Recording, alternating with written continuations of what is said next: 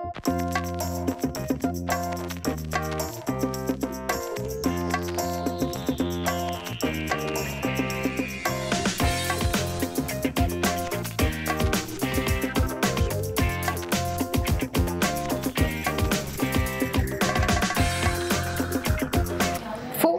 Pas du tout Un sous-produit animal est un terme réglementaire qui nous est imposé par la législation.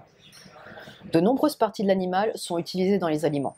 Ce sont souvent des éléments qui paraissent peu attrayants pour le consommateur, mais qui sont appréciés par nos animaux.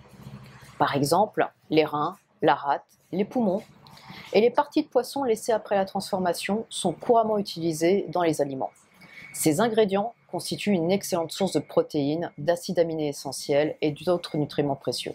La priorité du fabricant est de rechercher des ingrédients de valeur nutritive pour produire un aliment de qualité, équilibré sur le plan nutritionnel et agréable au goût.